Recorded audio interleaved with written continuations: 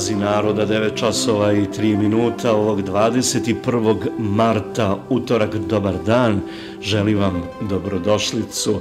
Lep dan, pravi prolećni dan u Beogradu i u čitavoj Srbiji. Vedro vreme sa temperaturom iznad desetog podeoka, osim u onim mestima gde smo inače navikli da temperature budu niže, za razliku od mnogih situacija u kojima smo, da tako kažem, na vrhovima protekle zime beležili vrlo niske temperature, ovog jutra i na vrhovima, poput Kopaonika, Zlatibora, Crnog vrha, dvocifrena temperatura na Crnom vrhu 12 stepeni, na Koponiku 10, Zlatiboru 11, ali je stara dobra sjenica i ovog jutra prilično, prilično zimogrožljiva. Tamo su prema posljednjim merenjima, merenjima iz posljednjeg sata, zabeležena samo 4 stepena.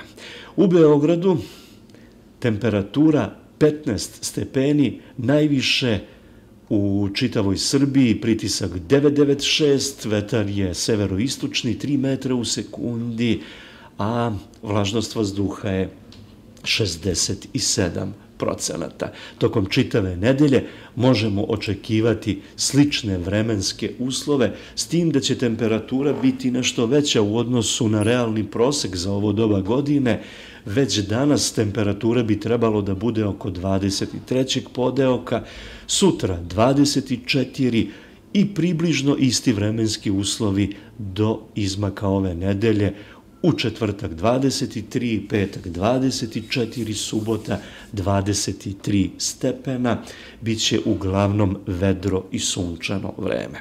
Da li je takvo i vaše raspoloženje? Da li je raspoloženje međunarodom u Srbiji takvo da nagoveštava vedre momente, vedre emotivne momente među njima? Mislim da nije, s obzirom da takva raspoloženja dugujemo nekim drugim vremenima u kojima je bilo mnogo više izvestnosti, mnogo više realnog odnosa države prema ljudima i ljudi među sobom živimo u vremenu u kojem se mirimo sa svojevrstim absurdom. Absurdom na svakom koraku, absurdom na svim nivoima. Počevo od onih političkih, društveno-političkih nivoa koji utvrđuju realne relacije i pozicije u našem društvu, pa do međusobnih odnosa koji su nesumnjivo narušeni pod uticajem svega onoga što pratimo i pamtimo u minulih više od 20 godina.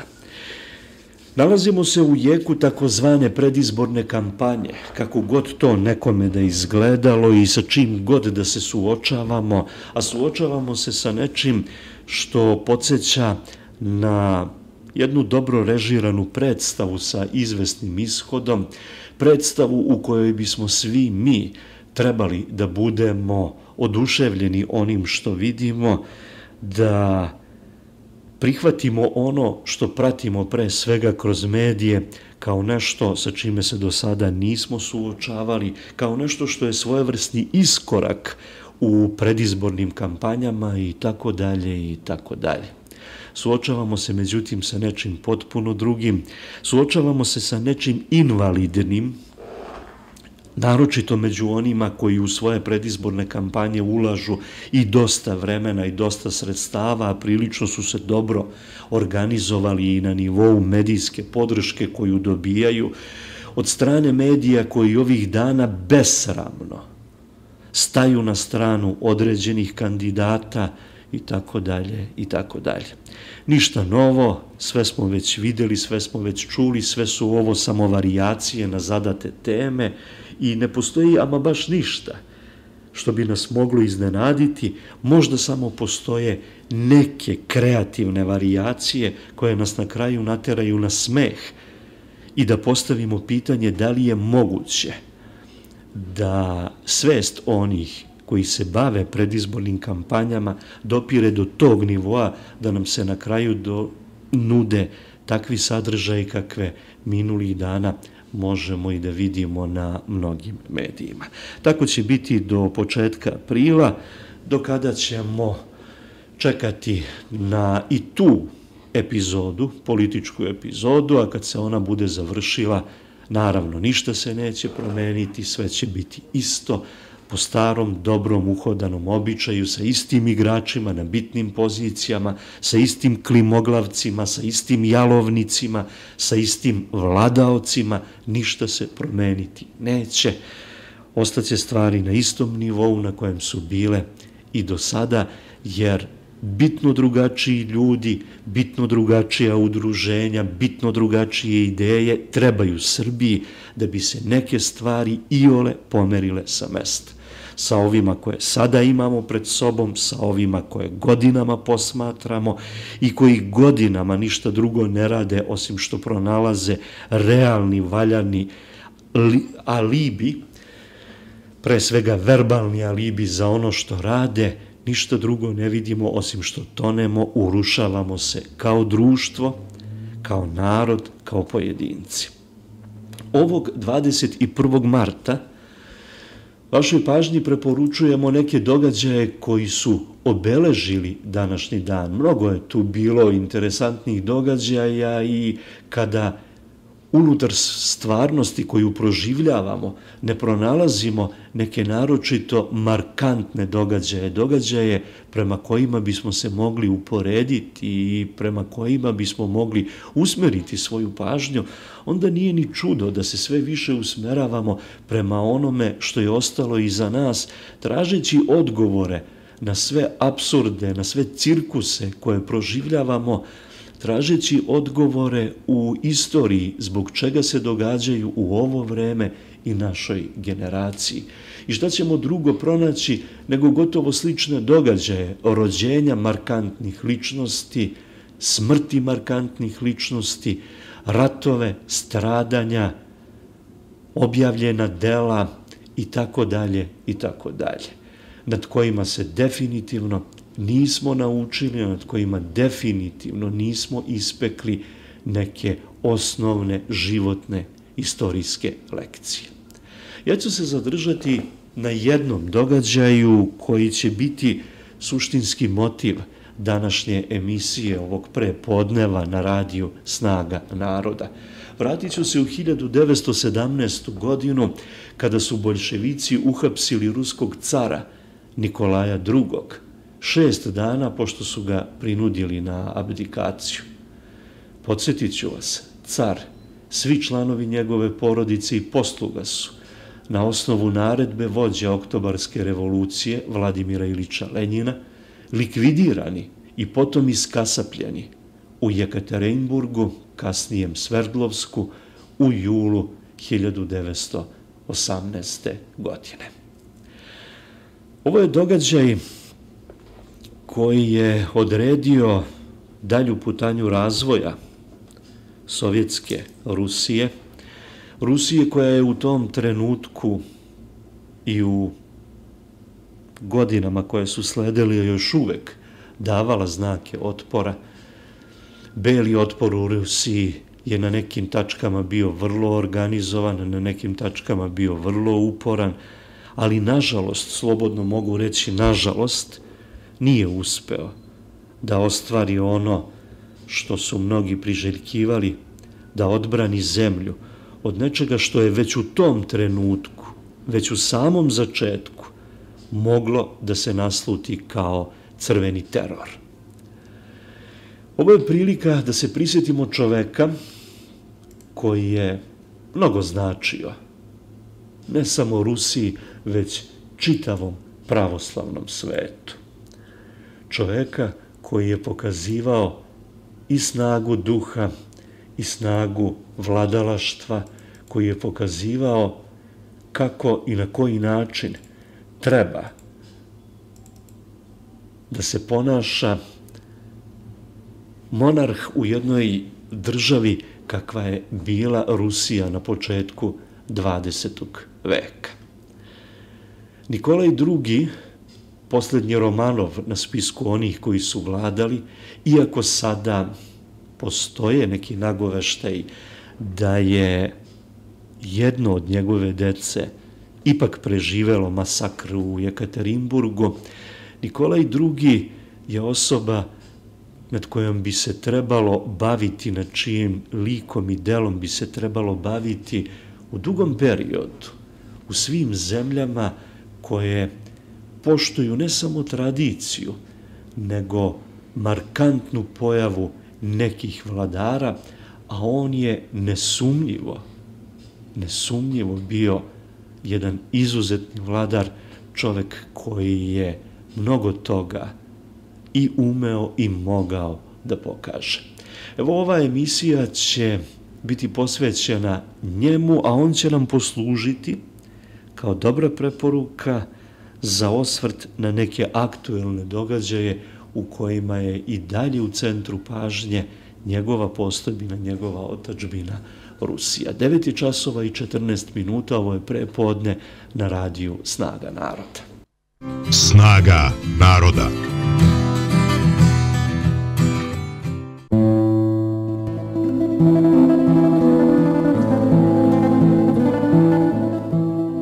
9 časova i 19 minuta, Snaga naroda, prepodne na radiju Snaga naroda. Dakle, evo priče o jednoj od najtragičnijih vladarskih ličnosti 20. veka, verovatno i o najtragičnijoj vladarskoj ličnosti 20. veka, ruskom caru Nikolaju II. Nad svetim ruskim carem Nikolajem II. Romanovim, koji, kao i ostali članovi njegove najjuže porodice, nije želeo da napusti otačbinu, iako su sve se više pojavljuju takve informacije, sve više izranjaju takve informacije, iako su mogli da napuste Rusiju. Izvršeno je ritualno ubistvo. Zagovornici neistine o odricanju od prestola – sastavili su o tome i svojevrsni lažni manifest. U arhivama Ruske federacije ne postoji ni jedan dokument koji potvrđuje istinitost tog mita. Postoji navodno samo careva izjava o odricanju, potpisana olovkom. Nikada ranije Nikolaj II. Romanov nije bilo koji lični ili službeni dokument – potpisao olovkom. Usled niza nelogičnosti, obavljeno je i detaljno naučno ispitivanje sa grafološkom analizom potpisa. Na osnovu nepobitno utvrđenih i iznetih naučnih dokaza i činjenica, zaključeno je da su i potpis i čitav dokument za koji su boljševici tvrdili da pripadaju njemu, zapravo lažni.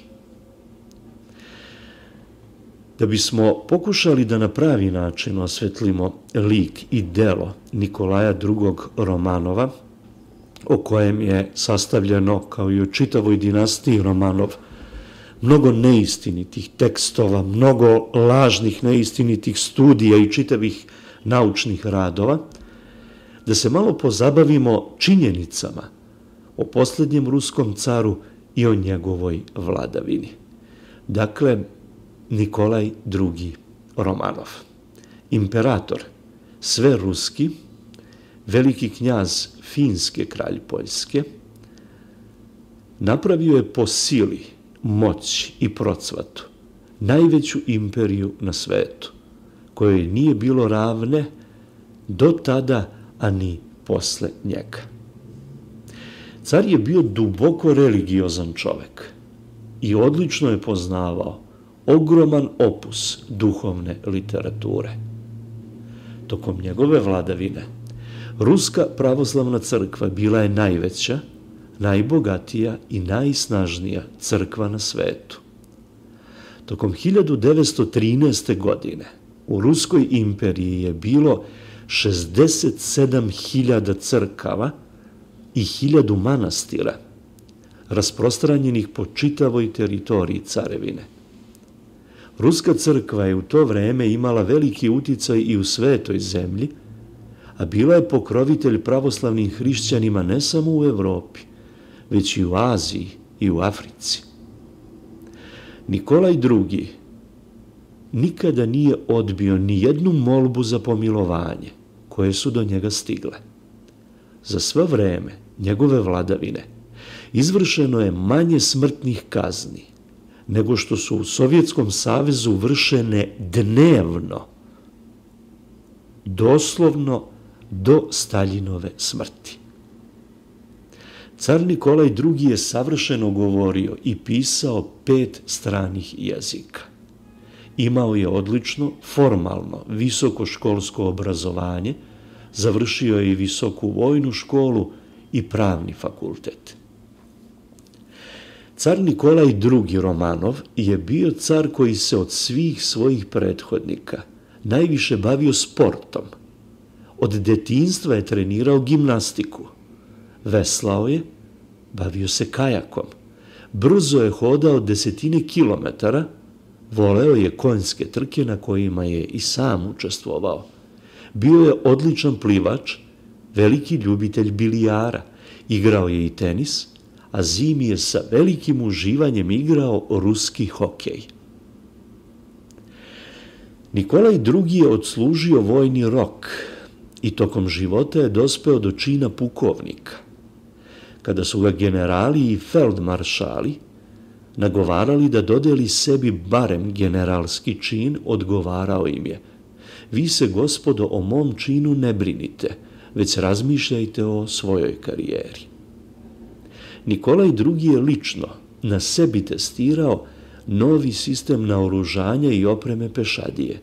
Marširajući pod punom opremom, 40 vrsta, podsjećam vas, jedna vrsta iznosi nešto više od jednog kilometra, kilometar i 66,7 metara. S obzirom da je bio izuzetno zadovoljan kvalitetom nove opreme, osim ministru dvora i komandantu dvora, u tom poduhvatu nije nikome rekao ni reči. Po ličnom ukazu cara Nikolaja II. služba u armiji je skraćena na dve godine, a u mornarici na pet godina. Danas se taj period čini dugim, ali u to vreme u Rusiji vojni rok je trajao znatno duše. U carskoj porodici su odeće i obuća prelazili sa starije na mlađu decu. Sam car je bio toliko skroman da je do posljednjeg dana nosio svoja svadbena odela. Sredstva iz Londonske banke koja je nasledio od oca, u to vreme 4 miliona zlatnih rubalja, bez ostatka je potrošio u dobrotvorne svrhe. Tokom njegove vladavine, broj državnih i administrativnih činovnika je tokom 1913. godine na 100.000 stanovnika iznosio 163. Posle manje od 100 godina života, bez cara, i pored toga što se danas u radu državne administracije koriste savremene elektronska pomagala i računari, broj činovnika u Ruskoj federaciji tokom 2010. godine iznosio je 1153 Naravno, njihov broj u vreme Sovjetskog saveza bio je još veći. U Toboljsku, u pritvoru, carska porodica ni jedan jedini dan nije bila besposlena. Car je samo inicijativno cepao drva, čistio sneg, brinuo se o vrtu. Videvši sve to, jedan od stražara je rekao, kada bi mu dali parče zemlja, on bi sebi Rusiju svojim rukama natrag zaradio kada su zaverenici caru spremali lažnu optužbu za izdaju. Neko od njih je predložio da se odštampa i lična prepiska cara Nikolaja i njegove supruge carice Aleksandre Fjodorovne, na što je dobio odgovor. Ne smemo to ni slučajno, jer narod bi odmah proglasio sve njih za svece. Za tragediju na Hordinci car nije imao ni trunke krivice. Kada je saznao šta se dogodilo, odmah je porodicama poginulih kao i postradalima pružio veliku materijalnu i moralnu pomoć i utehu. Revolucionari su 1905. prvi pripucali na vojnike. Među njima poginulih je bilo 130, a ne 5000, kako je lagao rusofob i bogoborac Lenin. Onima koji su u unakrsnoj vatri bili ranjeni, odmah je pružena hitna medicinska pomoć, a svi postradali bili su prevezeni u bolnicu. Car se tog dana uopšte nije nalazio u gradu i pojma nije imao onome što se dogodilo. Kada je saznao za tragediju, odmah je porodicama poginulih kao i postradalima pružio pomoć. Iz ličnih sredstava, porodicama postradalih kao i ranjenima, isplatio je kompenzaciju od po 50.000 rubalja. Za to vreme to je bio ogroman novac. Od 1905. do 1907. Rusija je spašena i revolucija je ugušena uz minimalne žrtve, samo zahvaljujući čvrstoj volji cara Nikolaja. Za 20, za 20 godina njegove vladavine broj stanovnika Rusije povećan je za oko 40 procenata, približno 50 miliona stanovnika. Prirodni priraštaj premašio je 3 miliona novorođenih godišnje, što je bio odraz opšteg društvenog dobrog stanja i napretka. Broj stanovnika Ruske carevine 1897 iznosio je 126 miliona 586 hiljada i 600, a već 1913. bez Finske je iznosio 175 miliona 137 hiljada i 800. Car Nikolaj II. stvorio je jednu od najjačih armija na svetu koja je veoma brzo, koja se veoma brzo razvijala. U to vreme najbolja na svetu bila je ruska puška, Mosina, a Ruska imperija je 1910. godine doradila i masovno proizvodila jedno od najboljih u svetu automatskih oružja tipa Maxim, kalibar 7,62, kao i za njega najbolje metkove na svetu. Na molbu Sjedinjenih američkih država, carska Rusija je 1914. godine kao vojnu pomoć poslala Amerikancima 2000 ruskih inženjera radi formiranja američke teške vojne industrije. Rusko ratno vazduhoplovstvo oformljeno je tek 1910. godine i ubrzo je imalo 263 aviona – čime je postalo najveće ratno vazduhoplovstvo na svetu. Do jeseni 1917. godine broj aviona je porastao na čak 700, što nije posjedovala ni jedna saveznička ili protivnička strana. Ratna mornarica cara Nikolaja II. bila je 1917. godine jedna od najjačih i najvećih na svetu posjedovala je najbrže, najmodernije, opremljene i naoružane, najefikasnije razarače na svetu, kao i mnoge druge bojne brodove, od kojih su se kao najbolji na svetu pokazali minolovci, koji su primenjivali najbolju tehniku i taktiku miniranja i razminiravanja. Tokom Prvog svetskog rata, car je sa sinom često odlazio u prve borbene redove, pokazujući vernost i ljubav Rusiji, svojoj vojsci i narodu, za koje se nije plašio ni da pogine. I inače je pokazivao da se smrti ne boji. U najteže vremena za rusku armiju lično je preuzeo komandu kako neprijatelj ne bi osvojio ni pedalj ruske zemlje. Vojska Nikolaja II. Romanova nije pustila Viljemovu vojsku dalje od Galicije – to su današnji delovi zapadne Ukrajine i zapadne Belorusije. A objektivni vojni analitičari i istoričari na osnovu postignutih pobjeda ruske vojske i danas tvrde da nije bilo boljševičke izdaje i krvavog građanskog rata. Rusija bi, porazivši Nemačku, veoma brzo promenila tok Prvog svetskog rata i izvojevala konačnu pobedu. Po carevom ukazu i staranju, prema zarobljenicima se odnosilo kao prema stradalnicima. Sačuvani su im činovi, nagrade i novčana primanja. Rok u zatočeništvu ubrajao se u staž službe tokom rata. Od, dve, od 2 miliona 417 hiljada zarobljenika umrlo je ne više od 5 procenata.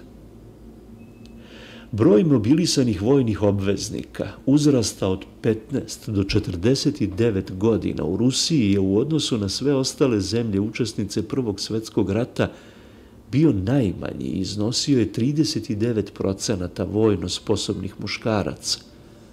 U Engleskoj je, na primjer, taj broj iznosio 50 procenata, u Italiji 72 procenta, u Austro-Ugarskoj 74 Francuskoj 79, u Nemačkoj recimo 81 procenat. Gubici Rusije na hiljadu stanovnika bili su također najmanji, iznosili su 11 ljudi, dok je Engleska izgubila u proseku 16, Austro-Ugarska 18, Nemačka 31, a Francuska 34 ljudi.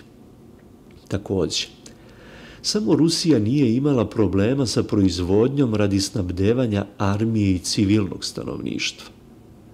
Nemački vojnički hleb za Ruse nezamislivog sastava, napravljen od svega i svačega, u Rusiji bi bio davan svinjama.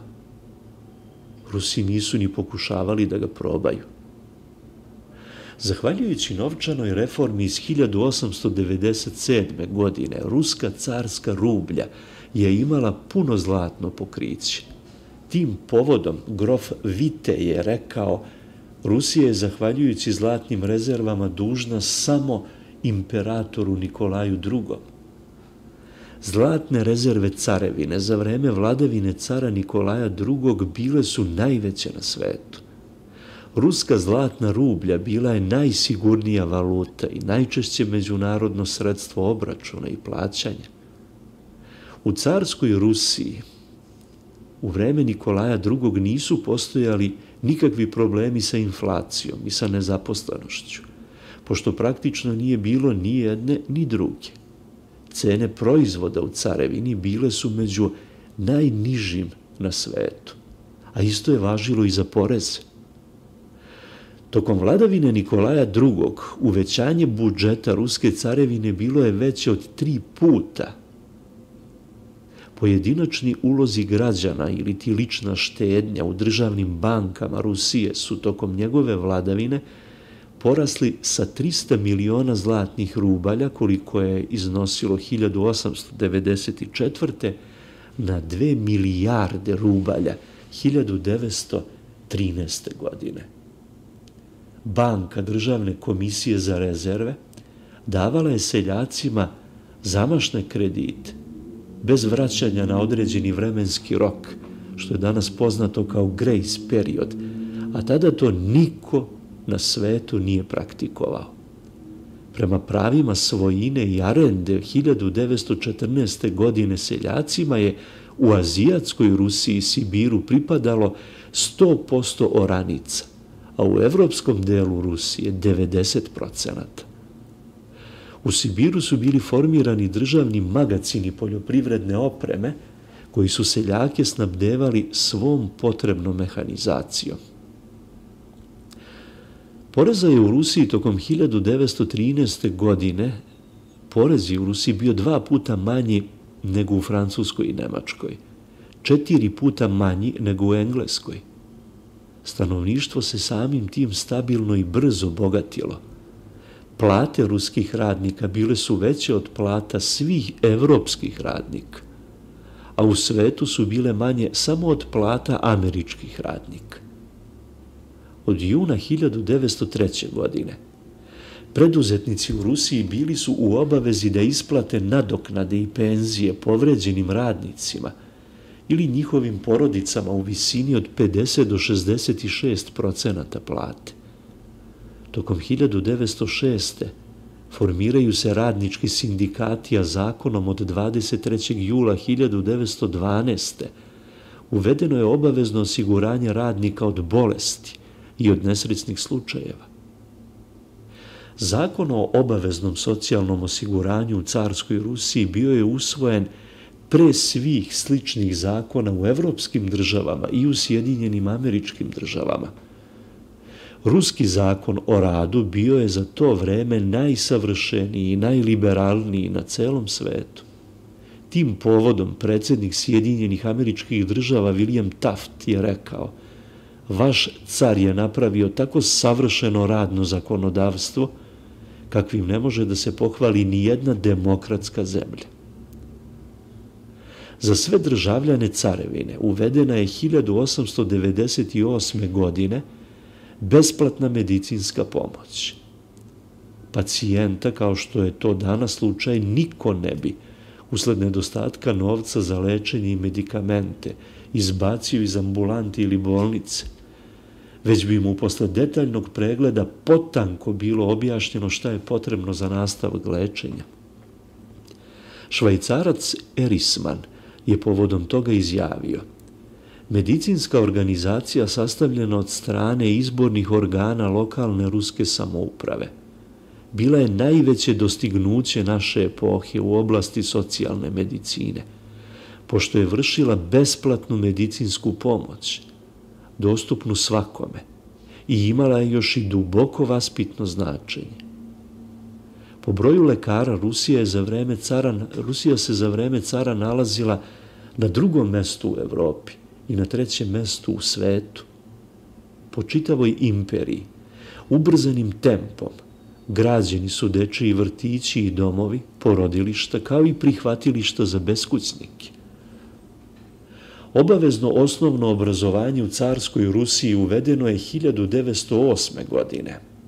Do 1916. broj pismenih iznosio je 85% ukupnog broja stanovnika. Pred prvi svetski rat u Rusiji je već postojalo stotinu univerziteta sa stotinu 50 studenta. Prema ukupnom broju visokoškolskih ustanova, Ruska imperija je treće mesto u svetu delila sa Velikom Britanijom. Finansiranje obrazovanja je tokom 20 godina poraslo sa 25 miliona rubalja na 161 milion rubalja – toj cifri posebno treba dodati i sredstva za finansiranje seoskih škola, za koje su rashodi porasli sa 70 miliona rubalja 1894. na 300 miliona 1913. godine. Ukupan budžet predviđen za sve narodno prosvetiteljstvo porastao je, obratite pažnju, za 628 procenata broj učenika u srednjim obrazovnim ustanovama je porastao sa 224.000 na 700.000 učenika. Broj studenta se tokom 20 godina njegove vladavine udvostručio, dok je broj učenika porastao sa 3 na 6 miliona. U Rusiji je 1913. bilo 130.000 škola. Pred bolševičku revoluciju primenjen je zakon o besplatnom obrazovanju koji je podrazumevao ne samo besplatnu nastavu i učbenike, već i besplatni smeštaj, odeću i ishranu učenika. Sve seminarije su u potpunosti bile finansirane od strane države. Industrija se po tadašnjim, a i sadašnjim kako ruskim, tako i svetskim standardima, razvijala u istoriji civilizacije nezapamćenom brzinom. Od 1890. do 1913. bruto društveni prihod je porastao četiri puta, za 400 procenata. Eksploatacija kamenog uglja je za 20 godina povećana pet puta, eksploatacija gvožđa četiri puta, a proizvodnja čelika i mangana povećana je pet puta. Investicioni kapital uložen u proizvodna sredstva, fabrika, mašinske industrije je od 1911. do 1914. povećan za 80 procenata. Za 20 godina dvostruko je povećan broj dužina železničkih pruga, a isto važi i za mrežu telegrafa. I pored toga, što je carska Rusija već posjedovala najveću na svetu trgovačku rečnu flotilu, ona je udvostručena. Ubrzano se razvijala i mehanizacija industrije. Eksploatacija sirove nafte je u Americi tokom 1901. bila 9 miliona 920 hiljada tona, dok je u Rusiji u isto vreme iznosila 12 miliona 120 hiljada tona. Po odgovarajućim međunarodnim pokazateljima u periodu od 1908. do 1913. rast industrijske proizvodnje u carskoj Rusiji premašio je Sjedinjene američke države, Englesku i Nemačku, koje su do tada smatrane nedostižnim industrijskim gigantima. Kao rezultat delatnosti cara, Ruska država je ekonomski, a i na svaki drugi način, postala izuzetno snažna. U periodu svetske ekonomske krize 1911. godine Rusija se nasuprot ostalim industrijski i ekonomski razvijenim zemljama nalazila u periodu visokog i stabilnog razvoja. Za vreme cara Nikolaja II. Romanova, tempo i obim izgradnje železnica u Rusiji bili su jedni od najvećih u svetu. Sovjetski savez radi upoređenja im se potom nije ni primakao. Za vreme cara Nikolaja izgrađena je i velika sibirska magistrala. Sirova nafta se tokom vladavine Nikolaja II. Romanova nije smela izvoziti, a sredstva dobijena njenom eksploatacijom, preradom i prodajom na domaćem tržištu odlazila su na razvoj i napređenje domaće proizvodnje. Carska Rusija u brojkama i statistici tog vremena. Tempo rasta svih oblasti proizvodnje. Prvo mesto u svetu. Nivo koncentracije proizvodnje. Prvo mesto u svetu. Jedna od najvećih izvoznica u svetu proizvoda tekstilne industrije. Jedna od najvećih proizvođača u svetu, jedan od najvećih proizvođača u svetu proizvoda u oblastima obojene i crne metalurgije – jedan od najvećih proizvođača u svetu proizvoda u oblasti mašinske industrije, jedan od najvećih proizvođača i korisnika uglja širom sveta. Rast proizvodnje žitarica u carskoj Rusiji tog vremena povećan je dva puta, dok je ujedno prinos po jedinici zemljišne površine povećan više od jedan i po puta. U oblasti poljoprivredne proizvodnje carska Rusija tog vremena u svetu je bila najveći izvoznik žitarica, lana, jaja, mleka, ulja, mesa, šećera i drugog. Prinos žitarica je tada za trećinu bio veći od ukupnog prinosa Argentine, Sjedinjenih američkih država i Kanade zajedno. Podsjetit ću, Tek 2016. godine Ruska federacija je uspela da povrati prvo mesto u svetu po proizvodnji i izvozu žitarica.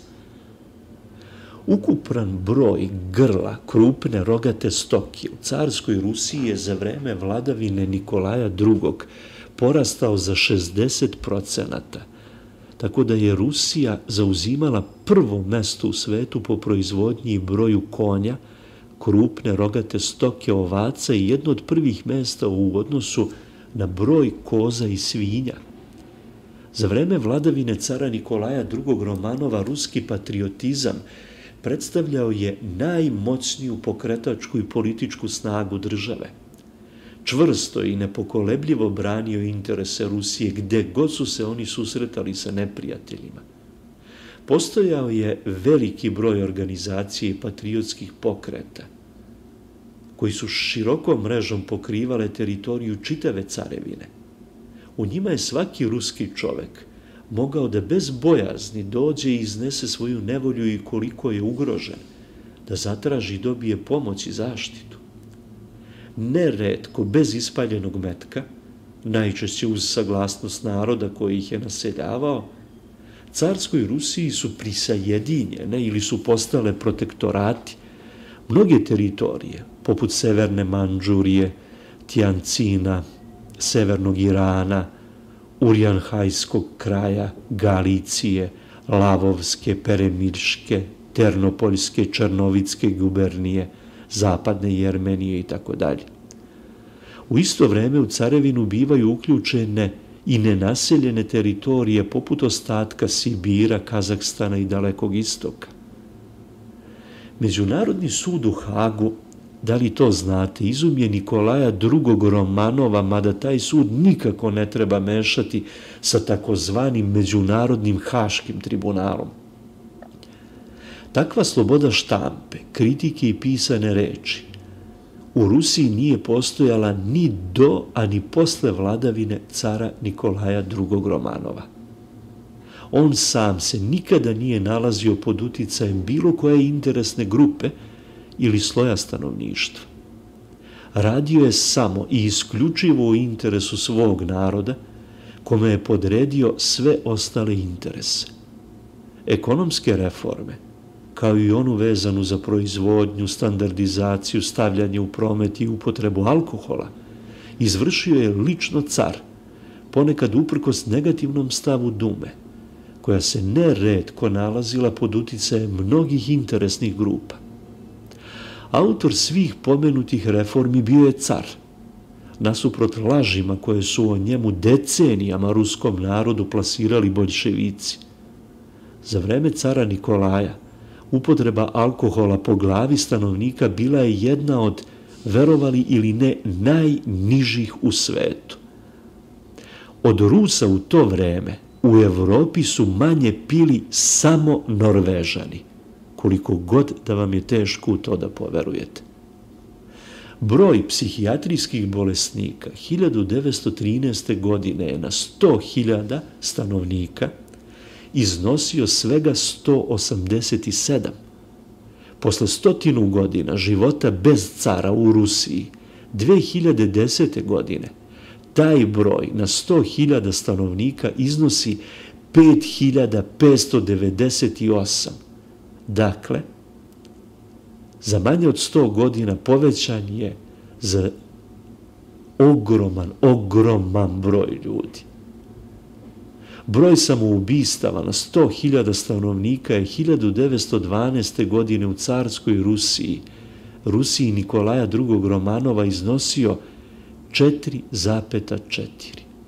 100 godina kasnije u Rusiji 2009. godine taj broj iznosi 29.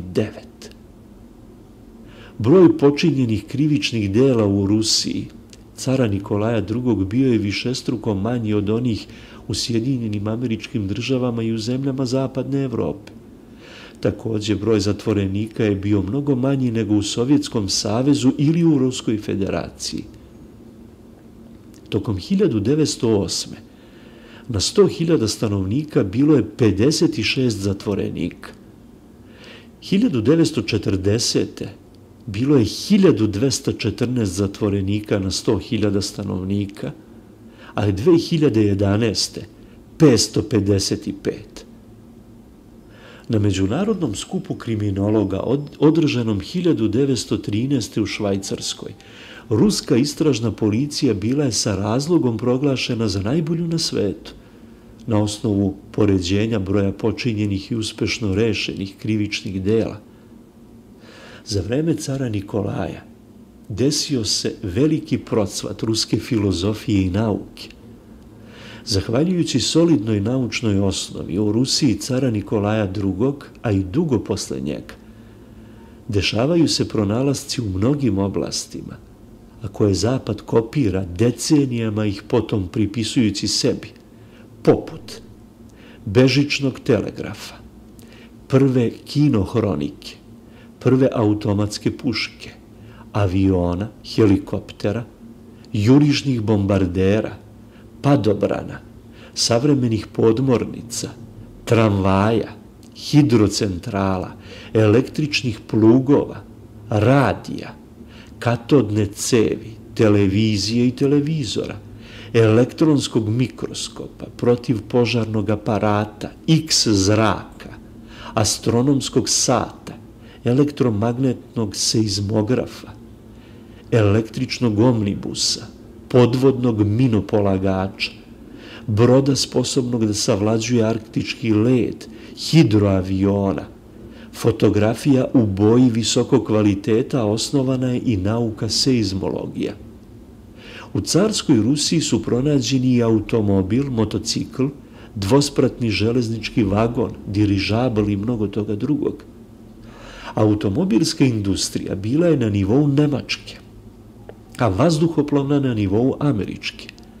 Dok je carska Rusija imala jedan od najboljih na svetu paro vozova, serija automobila Russo Balt, koja je puštena u promet 1909. bila je u svetskom vrhu, kako po dizajnu, tako pod karakteristikama.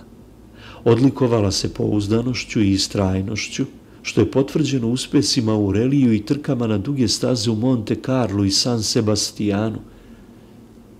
Motore za nemačku firmu Daimler napravio je ruski inženjer Boris Luckoj, a 1906. u trkački Mercedes 120 PS bio je ugrađen šestocilindrični motor, koga je također osmislio Luckoj. Za vreme cara Nikolaja desio se do tada neviđen procvat ruske kulture, tako veliki uspon literature, slikarstva, muzike, arhitekture i mnogih drugih umetnosti – nikada nije bio zabeležen ni u jednoj zemlji na svetu. Poznati francuski pisac i literarni kritičar Paul Valéry nazvao je rusku kulturu s početka 20. veka jednim od svetskih čuda. Da li ste znali da je dvoje od pet osnivača Hollywooda stiglo iz carske Rusije? Poznati parfem Chanel 5 nije izmislila Coco Chanel, iako ga je svetu prodala, već emigrant iz carske Rusije, parfimerista Verigin. Sve navedeno bilo je u carskoj Rusiji Nikolaja II. Romanova postignuto bez terora, bez kulačenja seljaka, osnivanja hiljada ropskih i koncentracionih logora, i desetina miliona uništenih ruskih ljudi i sudbina njihovih porodica. Ruskog prestola se car Nikolaj II. nikada nije odrekao. To je izmislio deo zavedenog naroda i takozvana njegova komunistička elita, koja se odrekla Boga i Božijeg pomazanika. Organizovana je kolosalna izdaja o kojoj je car napisao – okolo je izdaja i kukavičluk, okolo je prevara. Snaga naroda.net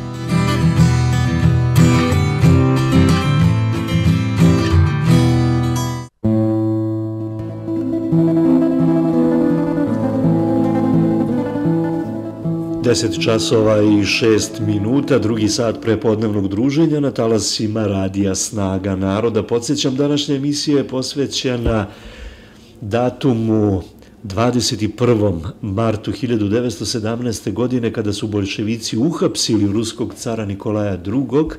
šest dana nakon što su ga navodno prinudili na abdikaciju. Podsjetit ću da su cari članovi njegove porodice zajedno sa poslugom na osnovu naredbe vođe oktobarske revolucije Vladimira Ilića Lenjina likvidirani i iskasapljeni u Jekaterinburgu u julu 1918. godine. Govorimo o jednoj čudesnoj figuri, o jednom čudesnom čoveku koji je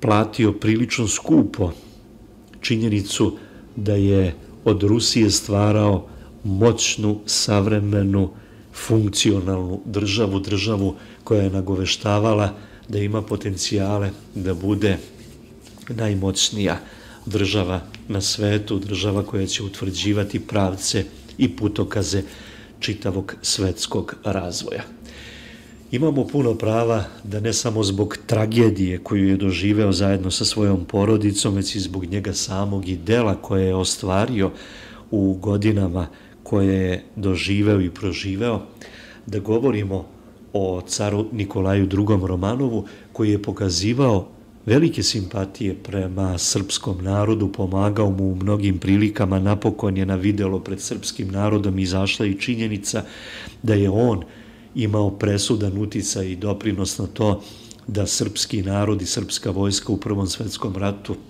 ne dožive potpuno istrebljenje koje im je pretilo u jednom trenutku, a ne saveznici kako se to u dugom periodu govorilo. U ostalom, Romanovi su pokazivali priličnu naklonost prema Srbima i ja se neću vraćati u dublju prošlost u kojima su njihovi rodonačelnici pokazivali naklonost prema srpskom narodu, već su se zadržati na onome što su oni iskazivali u 19. veku u Srbiji za vreme Karadžorđa. Računalo se na ozbiljnu pomoć Ruske crkve u pokušaju da se nacionalizuje srpska jerarhija koja je u vreme prvog ustanka bila pod crkvenom jurisdikcijom Carigrada. Karadžorđe je pokušavao da umori ruski sinod da za episkopa hirotoniše Hadži Melentija Stevanovića, arhimandrita bliskog ustaničkom vrhu, što zbog međupravoslavnih odnosa u tom času nije bilo moguće. Ruska država pod vlašću Romanovih je nastavila da ukazuje pomoć srpskoj crkvi i u 19. veku. Neprestano je pomagano srpskim crkvama i manastirima. Reći ću da je 1811. isplaćena pomoć manastiru Studenici, a posle revolucije 1848. i 49. kada su mnogi crkve i manastiri Srba u Vojvodini bili oštećeni od strane pobunjenih Mađara, Rusija je izdašno davala sredstva za njihovu obmanu, ob, obnovu. Veoma je važna saradnja u oblasti crkvenog školstva. U novoosnovanu Beogradsku bogosloviju mitropolit Petar Jovanović pozvao je ruske profesore, Rudinskog i Verdiša, a 1846. u Rusiju na bogoslavsko školovanje je upućena prva grupa naših đaka, među kojima su bili recimo Miloje Jovanović, potonji mitropolit Mihajlo, Dimitrije Nešić, Vasilije Nikolajević, Milisav Protić. Najznačajniji srpski delatnici 19. veka školovani su na ruskim duhovnim akademijama. Među preko 80 ruskih đaka iz naroda Svetog Save bili su takvi značajni podvižnici crkve kakvi su, pored već pomenutog mitropolita Mihajla, bili i budući patrijarh Varnava, episkop Nikodim, mitropolit Inokentije, episkop Ilarion, episkop Nikanor, episkop Dositej, prota Steva Dimitrijević, mitropolit Mihajlo, koga je kralj Milan Obrenović zbog antiaustrijskog i rusofilskog držanja velikog srpskog jerarha proterao sa katedre, Oni žive u Rusiji do 1889. gdje je umro. On je želeo da srpsku crkvu uredi prema ruskom modelu, pa je čak i crkvene slikare slao u najveću pravoslavnu zemlju da se školuju. U Moskvi je osnovano i srpsko podvorje. Ministar prosvete i vera Stojan Novaković uveo je crkvene odlikovanja po uzoru na ona u ruskoj crkvi i tako dalje i tako dalje. Romanovi već odavno nisu na vlasti u Rusiji, ali Ruska i Srpska crkva i dalje sarađuju na obostranu korist. Svest ruskog i srpskog pravoslavnog naroda o uzajamnosti sve snažnije i jača, a pomoć Ruske države i crkve ogleda se u raznim oblastima. Od dovršenja hrama Svetog Save na Vračaru, koji bi uskoro mogao da zablista punim sjajem, do brige o Srbima na Kosovu i Metohiji, Sve to treba imati u vidu u danima kada je srpska država na kolenima, jer je vode ljudi koji nemaju ni snage ni volje da se uzdignu do zaveta naših predaka, koji svedoči o Kosovu kao kičmi duhovnog i narodnog identiteta. Jedan ruski jeromonah u posjeti Srbije rekao da se Rusija neće odreći Kosova, čak i ako ga se Srbija pod pritiskom spojnih okolnosti i slabosti svojih političkih elita odrekne – a za to da prvo Srbi pa onda i njihova braća u Hristu Rusi nikada ne daju svetu zemlju Lazarevu tuđinu i okupatoru, svi treba, naravno, gospodu da se pomolimo. Ajmo ponovo nazad prema našoj osnovnoj temi, prema Nikolaju II. Romanovu. Car je od mladosti vodio dnevnik u kome je zapisivao uglavnom najosnovnije činjenice o svojoj delatnosti. To mu je pre svega služilo da bi kasnije mogao da se seti šta je radio i sa kime se viđao. Pa ipak nije svaki zapis čisto telegrafsko beleženje događaja. Tako na jednom mestu u ponedeljak 17, ne, ne, 27. februara 1917. on piše U Petrogradu su počeli neredi pre nekoliko dana. Nažalost, od njih se uključila i vojska. Odvratan je osjećaj da sam tako daleko, a da primam u odlomcima loše vesti. A 1. marta, kada nije uspeo da se probije ka carskom selu, kaže i zapisuje bruka i sramota. Nisam uspeo da dođem do carskog sela, a misli i osjećanja su sve vreme tamo. 2. marta u četvrtak car Nikolaj piše o tome da su svi glavno komandujući generali bili za njegovu ostavku. Uveče su iz Petrograda stigli Gučkovi Šuljgin sa kojima sam pregovarao. Predao sam im prerađeni manifest. U jedan po ponoći otišao sam iz Pskova sa teškim osjećanjem preživljenog. Svuda su izdaja, kukavičluk i obmana. Kada je 3. marta saznao da se njegov brat odrekao prestola, jetko je prokomentarisao. Ko zna koga je nagovorio da potpiše takvu gadost? Kada se 9. marta rastajao sa svojim kozacima, zapisao je Srce mi se umalo nije pocepalo. Teško, bolno, turobno. Sve vreme car piše o svojoj deci, igra se sa Aleksejem, čita kćerima knjige. 18. aprila, kada su već bili odvedeni, po starom kalendaru bio je 1. maj po novom, car ironično piše, sad je na zapadu 1. maj, pa su naši balvani rešili da ga proslave paradom na ulicama uz muziku i crvene zastave. Samo toliko, ali ubistveno tačno, balvani. Cara je pogađalo kada vidi kako se oficiri sklanjaju pred vojnicima po nalozima revolucije. Komandant straže Kobilinski molio je cara 26. juna da ne pruža ruku oficirima ako nekog ima u blizini. To im se uzimalo za zlo i da se ne pozdravlja sa stražarima jer se dešavalo da oni ne odgovore na pozdrav. Svaku pobedu ruske vojske car je radosno beležio i pisao – slava Bogu. Radovao se čak i uspesima privremene vlade, pa i Kerenskog. Teško ga je pogađalo kada se ruske trupe pod utiskom bolševičke propagande povlače sa fronta.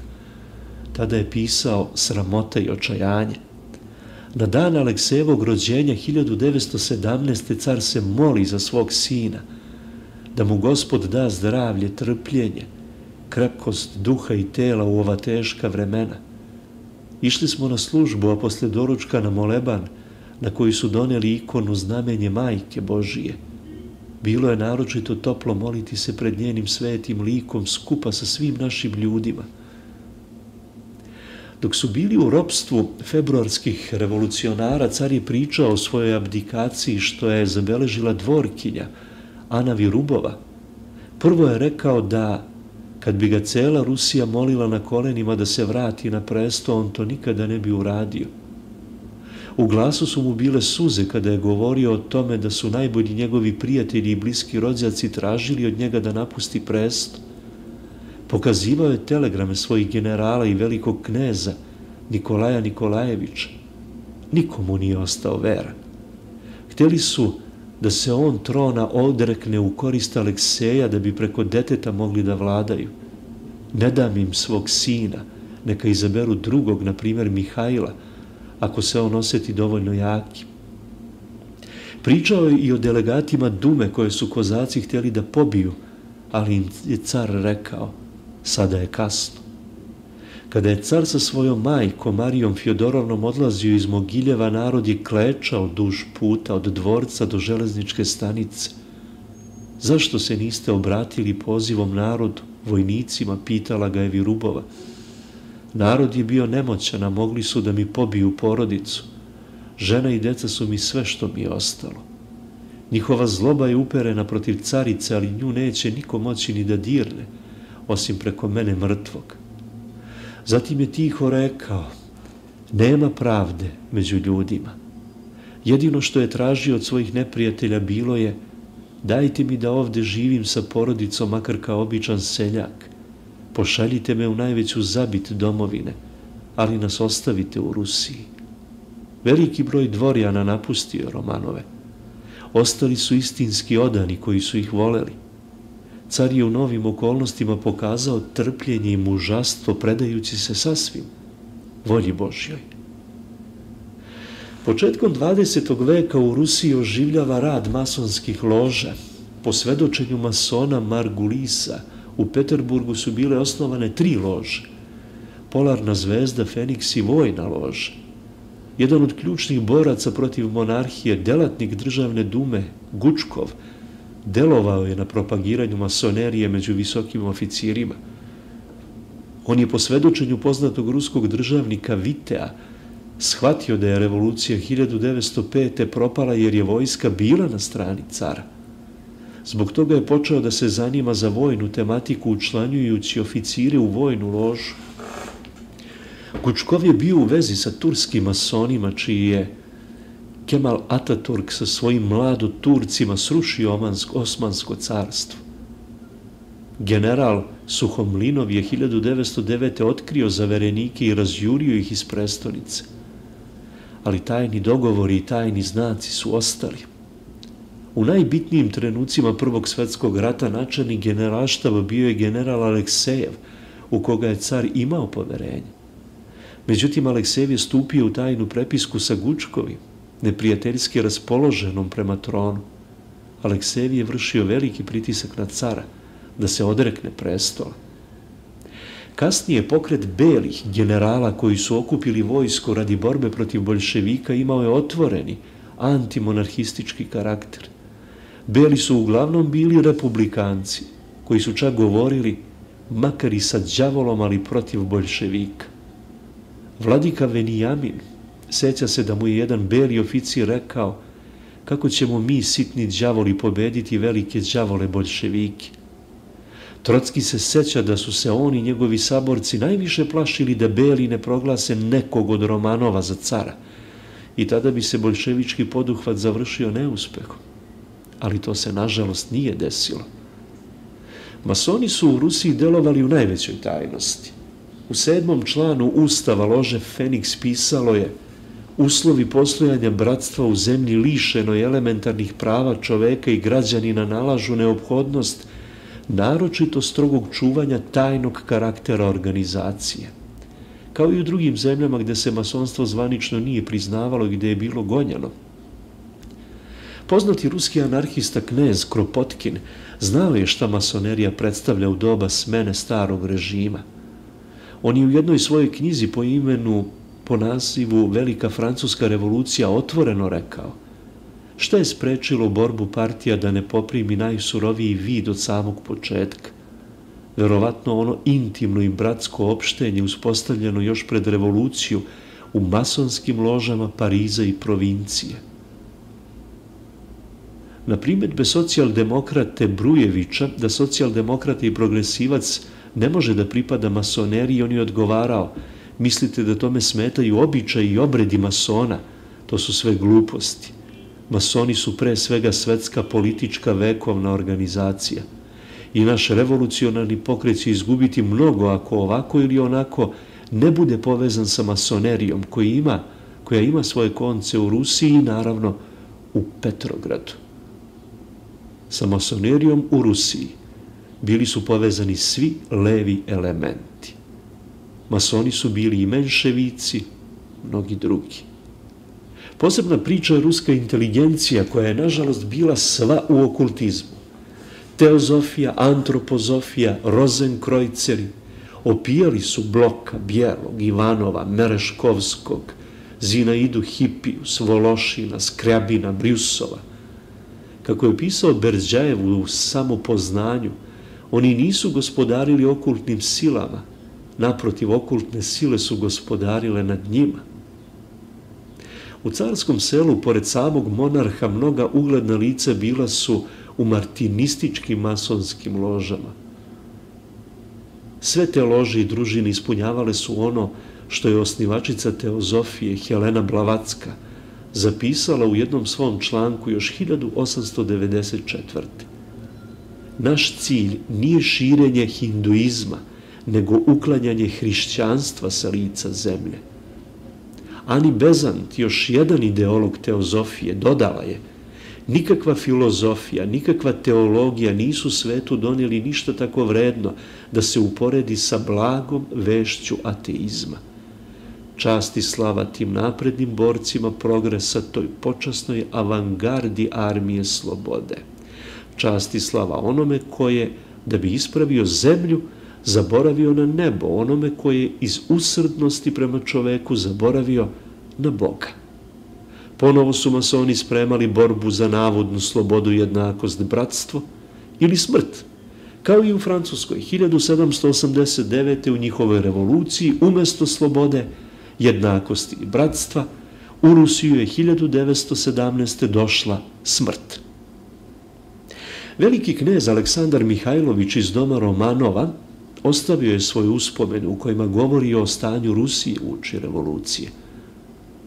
On primećuje da je zemlja ubrzano krenula u razvoj kapitalizma potpuno nespremna za tako nešto. Samo 1913. u Moskvi je 40.000 ljudi živelo od berze. Triumvirat novobogataša, poput Putilova, Batolina, Jarščinskog, osvajao je Rusiju i svi su im se klanjali, od ministara financija do revolucionara. Sibirska banka je finansirala Maksima Gorkog i on je u Petrogradu izdavao dnevne novine Novi svet, boljševičkog pravca, kao i mesečnik Anali. U obe publikacije je sarađivao Lenin. Obe su pozivale na rušenje države. U kući bogataša Paramonova nađeni su nepobitni dokazi da je on finansirao širenje revolucionarne literature u Rusiji. Suđeno mu je, osuđen je na dve godine robije, ali je dao veliki prilog za izgradnju spomenika o 300 godišnici doma Romanova i pušteni iz zatvora. Čuveni industrijalac Morozov je finansirao Lenjinovu iskru, koja je radnike njegovih fabrika, Morozovljevih fabrika, pozivala na štrajk. Ovaj nesrećnik je govorio da je dovoljno Boga da sebi dozvoli luksus finansiranja svojih neprijatelja. Morozov se ubio pre početka Prvog svetskog rata, a Leninovi sledbenici su kasnije svu njegovu imovinu konfiskovali. 1916. na frontu je posle pobjeda Brusilova stanje bilo bolje nego ikada, ali u pozadini je kuvalo.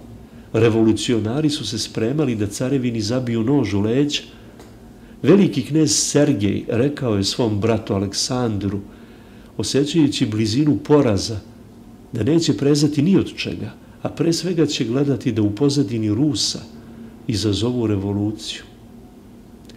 Aleksandar Romanov je pokušavao da uveri cara i caricu da je revolucija blizu, ali nažalost u tome nije uspevao. Carica nije mogla da veruje da će narod okrenuti leđa svom caru. Međutim, kada se car Nikolaj II. odrekao prestolu u kori svog brata, knez Aleksandar nije mogao da veruje. Nik, Nikola je verovatno izgubio razum. Od kada se to samodržat sve Rusije može odreći od Boga mu date vlasti zbog meteža u prestonici? Kada su se sreli, car mu je pokazao telegrame svojih generala koji su tražili njegovu abdikaciju. Glas mu je zadrhtao kada je došao do telegrama svog bliskog rođaka velikog kneza Nikolaja Nikolajevića, koji je također zahtevao abdikaciju. Veliki knez Aleksandar svedoči o potpunoj truleži visokih krugova ruskog društva. Ljudi poput Borisa Savinkova pokretali su revoluciju. On je bio zemljoposednik, čovek iz visokog društva, čak pesnik, pripovedač. Rekli su za njega da je bio sportista revolucije. On je govorio, revolucija i kontrarevolucija mi ne znače ništa, ja hoću akciju. A za to vreme, Savinkovu, koji je iz Francuske rukovodio ubistvima carskih činovnika, plaćani su honorari za romane objavljivane u Rusiji. Veliki knez Aleksandar je pisao, ministar unutrašnjih poslova nije ni sanjao da dobra polovina ruskih revolucionara, među kojima su bili Savinkov, Trotski, Černov i drugi, ima mogućnost da nastavi svoj teroristički posao zahvaljujući honorarima koje primaju od ruskih izdavača. Veliki knez Aleksandar sa Gorčinom zaključuje Presto Romanova nije pao pod pritiskom preteča Sovjeta ili mladih bombaša, nego nosilaca plemićkih prezimena i dvorskih zvanja, bankara, izdavača, profesora i drugih društvenih delatnika koji su živjeli od širokogrudosti carevine – Car bi uspeo da izađe u susret potrebama radnika i seljaka. Policija bi se obračunala sa teroristima. Ali bilo je sasvim uzaludno pokušati da se ugodi mnogobrojnim pretendentima na ministarska mesta, revolucionarima iz redova dvorjana, opozicionim birokratama, vaspitanim na ruskim univerzitetima. Što reći o stranim financijerima? To je posebna epizoda. 1879. John Rockefeller kontrolisao je 90% izvoza američke nafte. Jedina izvoznica nafte bila je Amerika, međutim, 1883. godine u Baku na obalama Kaspijskog jezera u Ruskoj imperiji otkriven je veliki izvor nafte i počela je eksploatacija. Izgrađena je pruga, car je počeo da poziva strane investitore. Već 1901. Amerika je proizvodila oko 10 miliona tona nafte, a Rusija preko 12 miliona. Rusija je okrilatila – Od 1907. do 1913. stopa njenog industrijskog razvoja bila je veća od stope razvoja Engleske, Nemačke i Amerike. 1905. predstavnici britanskog fabijanskog društva koje je okupljalo levičare, bogate i ugledne ljude iz Amerike i Engleske, sastalo se sa predstavnicima boljševika i ponudilo im novčanu pomoć za borbu protiv carskog režima i za izvođenje revolucije te iste 1905. godine američki bankari Schiff Morgan, kao i Citibanka, dali su 30 miliona dolara vlastima Japana da bi počeli rat protiv Rusije. Proces finansiranja revolucije se naravno nastavio. Kerenski, vođa februarskog bunta, primao je pare od industrijalaca iz Amerike. U martu 1917. Trotski snabdeven velikom količinom novca – iz Njujorka kreće prema Rusiji. Kongresmen Louis McFadden je 1919. godine tvrdio da su Trotskog novcem i podrškom snabdjeli američki bankari. Kanadske vlasti zadržale su brod na kome je bio Trotski, ali vlada Woodrow Wilsona naložila je Kanadjanima da Trotskog puste. Sa Trotskim u društvu je bio i predsedavajući finansijskog odbora Demokratske partije u Americi, Charles Crane. Američke vlasti nastavile su da podržavaju bolševike i posle abdikacije cara. U ostalom, Sjedinjene američke države su ušle u prvi svetski rat tek kada je u februaru 1917. pao krvavi carski režim, kako su ga naimenovale Direktor Američke banke federalnih rezervi, William Thompson, dao je bolševičkim vlastima lični prilog od milion dolara. Morgan i porodica Rockefeller – također su pomagali, a Jakob Schiff, partner banke Kuhn, Leb i kompaniji Pola Warburga dao je Leninu 20 miliona dolara za to vreme. Kakva je to suma bila? Od nemačkih vlasti Lenin je dobio 40 miliona maraka u zlatu. I za vreme Staljina Rockefellerova Chase Manhattan banka, a ovih dana smo svedoci da su Rockefelleri i njima bliski saradnici ostali bez najstarijeg Rockefellera, Davida Rockefellera. Dakle, njihova Chase Manhattan banka sarađivala je sa Sovjetijom i u vreme Staljinovog režima, kao i Kuhn, Leb i Company. Ali Lenin ni Staljin – nisu zaboravili svoje financijere, odužili su im se rasprodajom ruskog crkvenog blaga na zapadu. Zaista ne treba prećutati reči Jenningsa Weissa, pisca knjige Woodrow Wilson, sledbenik revolucije. On kaže, istoričari nikada ne smeju zaboraviti da je Woodrow Wilson omogućio Lavu Trockom da uđe u Rusiju sa američkim pasušem. U zvaničnim istorijama to, naravno, nigde nećete pročitati. Na univerzitetima, zapadnim, američkim, engleskim, nemačkim, francuskim, naravno, to vas ni jedan istoričar neće naučiti i čak će kategorično poreći to što znaju da je istina.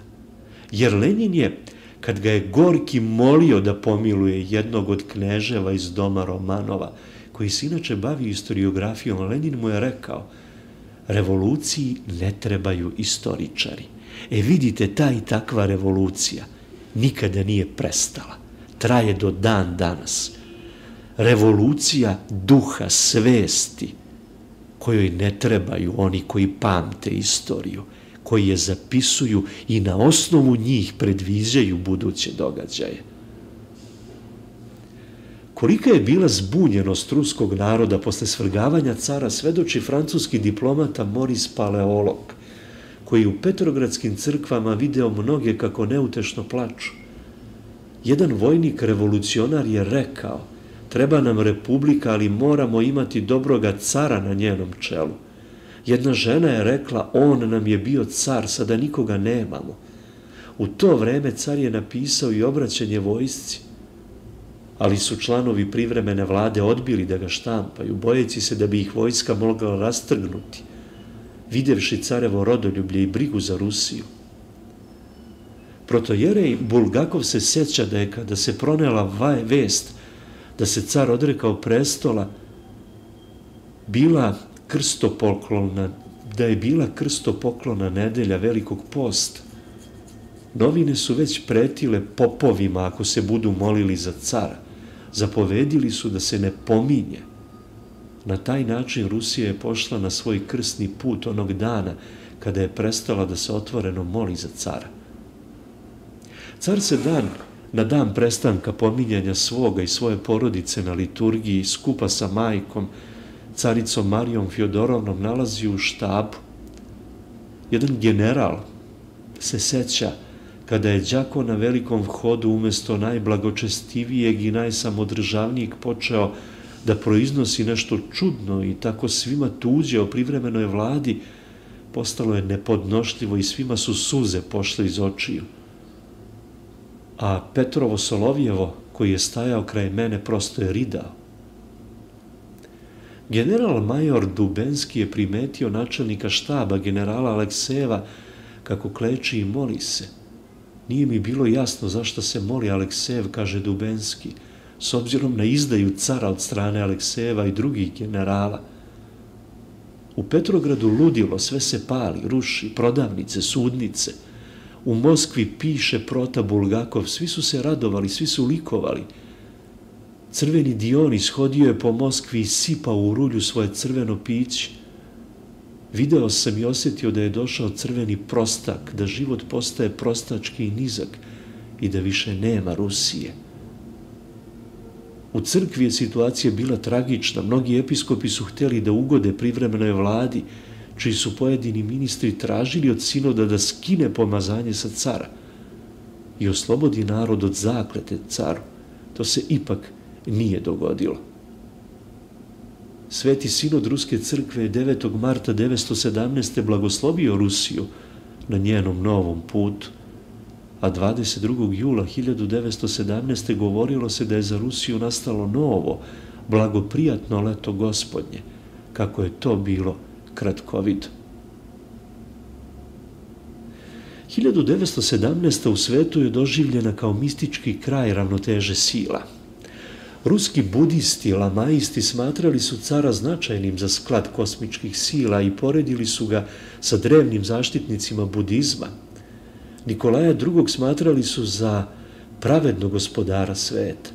Čak su izvodili poreklo Romanova od mitskog cara Ramane – Kako kaže istoričar Iljušin, fenomen ruske monarhije je nadetnički, nadistorijski.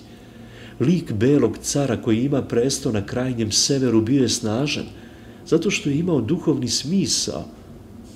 Dalaj Lama je primio mnoge ruske izbeglice upravo u znak sećanja na dobrog cara Nikolaja i njegovu svetsko-istorijsku ulogu. I muslimani su pad cara doživljavali mistički – Na Bliskom istoku mnoštvo Arapa kojima je Rusija pomagala materijalno i duhovno bilo je očajno kada je pao car Nikolaj. Nekoliko godina žalili su za njim.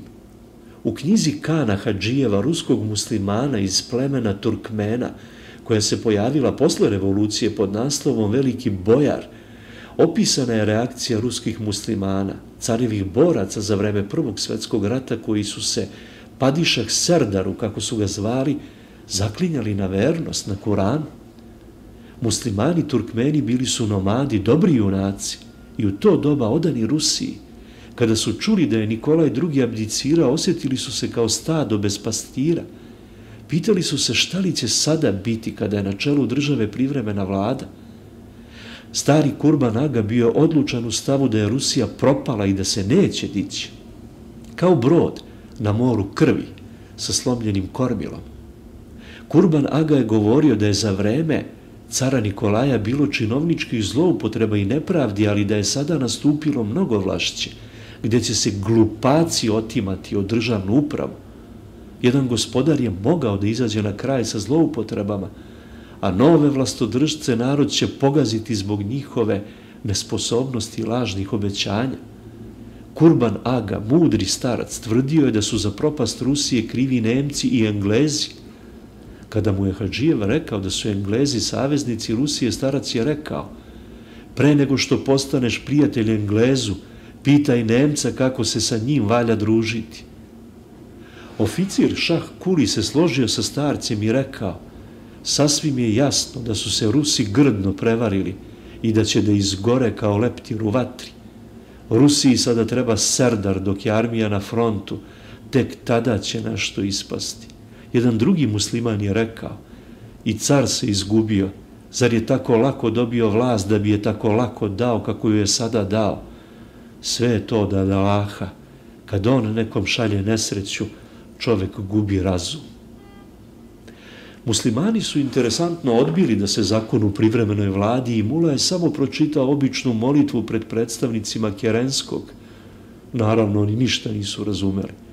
Po svedočenju sveštenika Olega Stenjajeva, još dugo posle pobede Bolševika, bilo je muslimana koji su, zaklevši se na Koranu na vernost caru, ratovali protiv komunističke vlasti. Danju su to bili skromni i vredni, se, vredni seljaci, a noću borci protiv onih koji su uzeli vlast od zakonitog monarha. Kada su se carski mučenici našli u ropstvu u Tobolsku, domaći tatari su se skupili pred kućom u kojoj su bili i molili se, skupa sa svojim mulom za zdravlje cara i njegovih. 2017. godine navršava se 100 godina od februarske revolucije koja se pretvorila potom u oktobarsku, koja je ustala protiv Hrista i pravoslavne Rusije. Ivan Šmeljov je u svojoj već pomenutoj priči pozivao ruski narod na pokajanje zato što se odrekao Boga i samog sebe i zbog čijih greha je srušen hram Hrista Spasitelja u Moskvi. Pa ipak, najavljivao je da će posle pokajanja doći, doći milost Božija. Podići će ruski narod iskupivši grehe svoje, novi čudesni hram, hram Hrista Spasitelja, veličanstveniji i lepši i bliži srcu i na svetlim zidovima njegovim, preporođeni ruski genije, ispričat će svetu o teškom ruskom grehu, o ruskom stradanju i pokajanju, o ruskom bezdanu tuge, o ruskom oslobođenju iz tame, svetu istinu. I tada ćemo ponovo čuti pojanje zvezda i blagovest. I uskliktaj duše slobodne, u veri i nadi uzviknuće s nami Bog. To se i dogodilo, baš kako je Šmeljov tvrdio. Hram Hrista spasa opet stoji na svom mestu i poje Bogu, a Rusija se raduje Božiću kao nekad. Pa ipak, sile zla ne miruju i žele da opet sruše pravoslavnu matušku. Ako se to dogodi, Antihrist će zavladati svetom. Zato se skupa sa carskim mučenicima i svim novomučenicima svete Rusije molimo gospodu da nam produži vreme za pokajanje i da zemlju pravoslavnu, rusku, srpsku i sve ostale čuva na mnoga i blaga leta. Da se urazumimo, da shvatimo šta nam se događalo svim pravoslavnim, šta se događalo Rusiji te 1917. 1905 u godinama koje su sledile. Da naučimo da prepoznajemo razliku, da naučimo da prepoznajemo loša, pogrešna, zlonamerna tumačenja, da prepoznamo crno od belog, svetlo od tamnog. Da to prepoznamo u svojoj istoriji, da shvatimo šta se događalo srpskog, na, srpskom narodu do Prvog svetskog rata, kakve je tragične greške napravio, kako su ga te greške skupo koštale u potonjoj jugoslovenskoj zajednici, u potonjem komunističkom društvu, u vremenu koje sledi posle komunističkog društva, kada su se pojavili neki drugi vukovi u jagnjećim kožama, koji nam govore da nam donose nešto novo, nešto drugačije, nešto bolje, nešto što je u skladu sa savremenim dobom, savremenim svetom. Oni koji su spremni da se prekrste pred svetim ikonama, a na čelu i srcu im još uvek leži petokrak. Oni koji su prepuni laži, prepuni sebičnosti, koji se zaklinju u ovu zemlju i ovaj narod, a koji ga uporedo sa time izdaju, varaju i prodaju. Zbog lične koristi bili bi spremni i jesu spremni da služe srpskim neprijateljima i da nam uporno govore kako smo nedovoljno prosvećeni i svesni šta nam se događa, da razumemo šta nam se događa i kako su oni tu da nam to odgonetnu dešifruju i u naše ime povedu nas pravim stazama.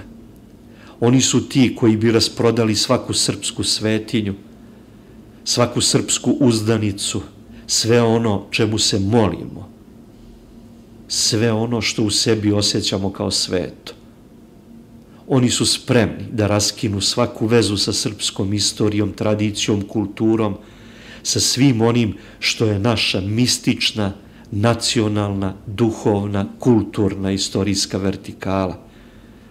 Zato što sami za sebe i po sebi tumače srpsku istoriju i srpsku stvarnost i zato što su spremni da se i sa srpskom istorijom i sa srpskom stvarnošću obračunaju na najistrajniji mogući način, jer duboko veruju da oni koje slede, kojima veruju i koji im sugerišu šta i kako treba da urade, imaju dovoljno snage da za njih i njihov interes razore sve odbrambene moći srpskog naroda.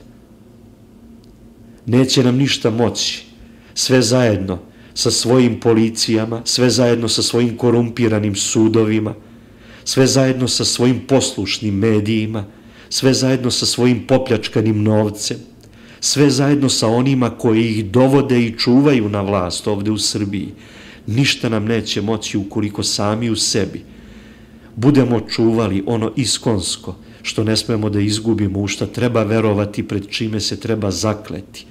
Ono što su nam preneli naši preci kakvi god da jesu bili. Oni koji su se borili, stradali, uzdizali i grešili, ali nešto činili i stvarali i prenes, prenosili luču stvaralaštva onima koji su za sobom dolazili, onima koji nisu prezilali srpstvo, nisu ga se stideli, koji jesu želeli da ga menjaju, da bi, postao, da bi postalo veće, svetlije i bolje, slobodnije, a ne kao ovi danas, koji bi da ga porobe, da bi njime lakše vladali uzdajemo se u sebe i u ono što imamo, a to nije malo. To je snaga sećanja, uverenja i zakletve koja u svima nama traje i prenosi se sa krvi na krv, sa kolena na koleno. Oni koji su za nama skupu cenu slobode platili, ostavili su nam to u amanet i mi to moramo sačuvati pred svojima i pred tuđima, pred onima koji nam ne žele dobro. 13 do punog sata. Hvala vam što ste bili u snagu naroda. Svako dobro. Thank you.